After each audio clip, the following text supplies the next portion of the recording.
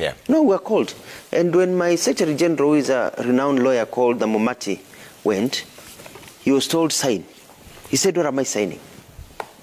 He says the document. He said, Can I have it? He was told no. What do you mean?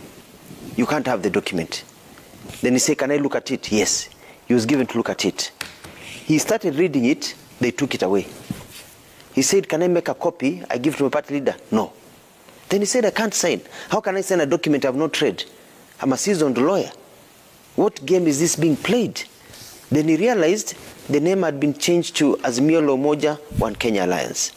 The, the caucus had been changed from what we had agreed at KCC now to three people. And that is Wiper Party, not even Oka anymore. It is Wiper Party, Jubilee and ODM will be the, the apex there is no space for any other party. And then it says there that now other parties would be selected. There would be a caucus that I would be selected. The members would be selected by the summit. And that's when we realized it's a problem. And we started talking among ourselves, said, this document they want us to sign, have you seen it? No. And then, punde si punde, we see people taking a document of Azimio coalition to the registrar of political parties. We are not, we are not party to that document.